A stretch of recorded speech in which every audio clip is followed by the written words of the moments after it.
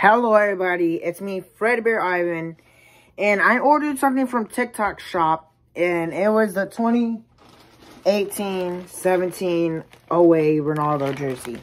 I had one from the same year, this bad boy. I got it from Joy F Ball, in very good quality, is that I, I didn't know like, how to wash them, so it like kind of peeled off.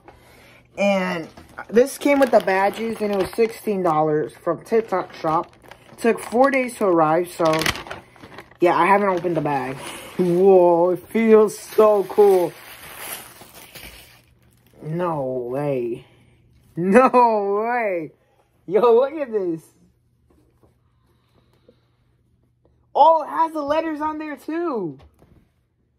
2018 letters. What happened this? It's like bent to the size of. Oh my god.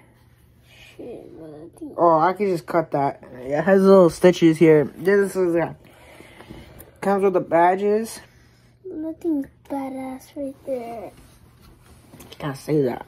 Uh, yeah, very good. I recommend you like buy jerseys from here. Yeah, this is pretty big. I mean, size comparison, I'm not sure. But let me just try and check.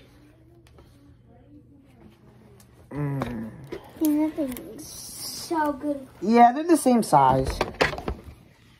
Pretty much, they're the same size. So yeah, I like his jersey. Might be my favorite. It has the Bro, give me it. no, bro. There's like three times your size. Yeah, I really like quality. He's surprised by it. real. So yeah, it's a replica. It's not real. It's a replica. It has dots here, armpit thingies. Nah, why would it need it?